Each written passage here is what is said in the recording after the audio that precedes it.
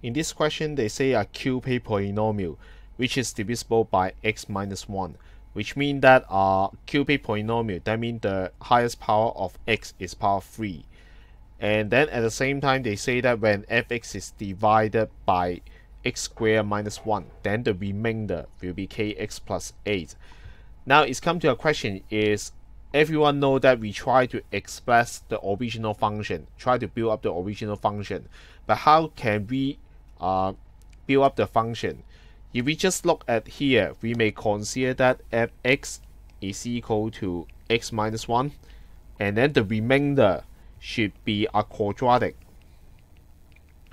We may write in this way. But at the same time, don't forget it. This one, they say fx is divided by x squared minus 1. If there is something x power 3 divided by x squared plus 1, then what is the quotient? It should be something x power of 1. That means a linear expression. So not only you can let in this way, you may also construct fx in this way. fx is equal to the quotient times x squared minus 1 and then plus the remainder, the divisible part and the not divisible part and that is our quotient. And we know that the quotient should be linear x of 1 so we can let it be ax plus b. Now come to a problem is which format will help us to make good use of the information. Uh, this is not good compared with this one. The reason is we need to let three different unknowns here. So it's difficult to log the value of a b and c in this case. We try to use this one we let fx is equal to the quotient ax plus b times x squared minus 1 and then plus the remainder here they say is kx plus 8 and given that we know f1 is equal to 0 is because they say when fx divided by that so we can get the remainder by replacing x by suitable value which is 1 because 1 minus 1 gives you 0. And divisible does mean the remainder in this case is equal to 0. That's why the remainder is equal to 0. Now we try to combine these two information together. F1, that means we consider x equal to 1. When x equal to 1, we have a times 1 plus b, and then 1 square minus 1 plus k times 1 plus 8. Even though it's not complicated, but f1 is given that is 0. This is a plus b. The key point is this factor is 0. So even though we have unknown here, but this whole part is just simply equal to 0. So we have k plus 8 equal to 0. k is negative 8. In part B, before we start, of course, we should update the information. Is equal to ax plus b times x squared minus 1 and then plus kx plus k, that means minus 8x plus 8. We update the information and see what is the additional information. They say that x plus 3 is a factor of fx. So similar reason, f negative 3 is equal to 0. They try to tell you that when fx is divided by that, the remainder is 0. So given that f negative 3 is equal to 0, therefore we consider when x equal to negative 3, f negative 3 is equal to negative 3a plus b, negative 3 bracket square minus 1 minus a times negative 3 plus 8. And then simplify that carefully.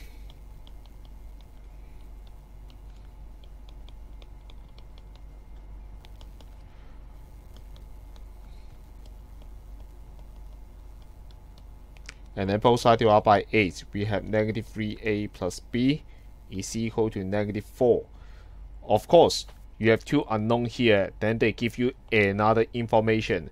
When fx is divided by x then the remainder is 24 so with two equations then you can solve a and b. And also given f0 because when the divisor equal to 0 then x equal to 0 the remainder is 24 so they say that f0 is 24 so we consider when x is equal to 0 f0 is equal to a times 0 plus b. 0 square minus 1 minus a times 0 plus 8 simplify it. This is replaced by 24 a times 0 disappear so only b is left.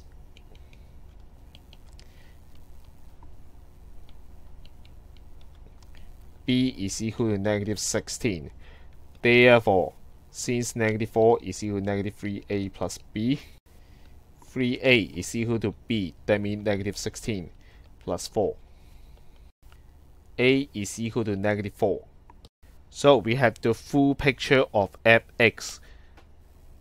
Updated information fx is equal to a is negative 4, xb is negative 16 times x squared minus 1 minus 8x plus 8. Later on, they ask us to solve the equations fx equal to 0. But before that, let us tidy up what is this first. So negative 4x power 3 positive 4x and then we have negative 16x squared positive 16 minus 8x plus 8 so group similar terms we have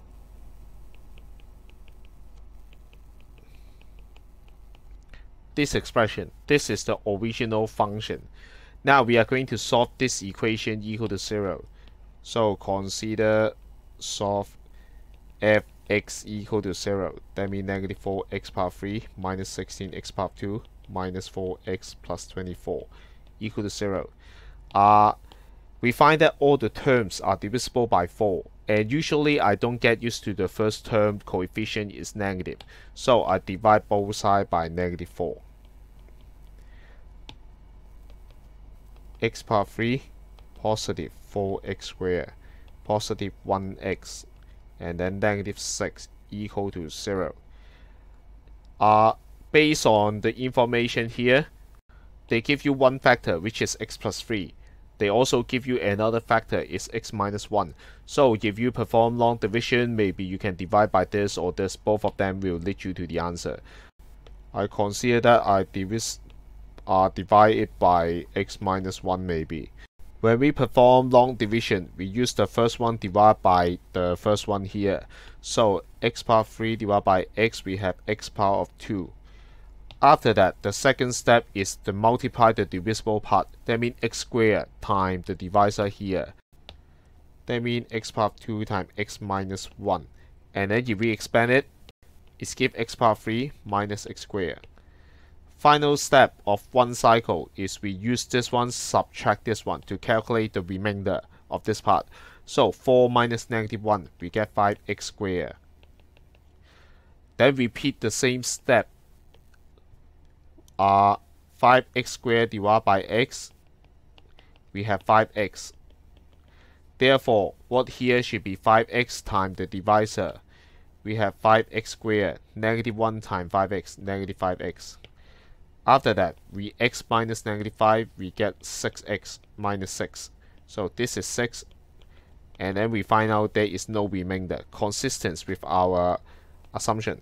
So it is x minus 1 times the quotient x squared plus 5x plus 6 equal to 0. Uh, you may say this is 0 or this is 0 and then you use calculator or you may further factorize this quadratic expression. They give you one hint already. x plus 3 is also a factor. So this is x plus 3. Then by the cross method, this is x plus 2. By the by the zero product rules, something times something times something equal to 0. That means at least one of this factor is equal to 0.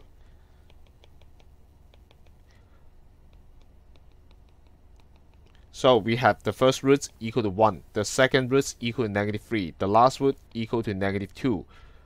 All of them are integers.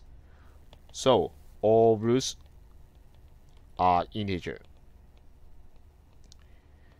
Which means that we agree the claim. The claim is correct.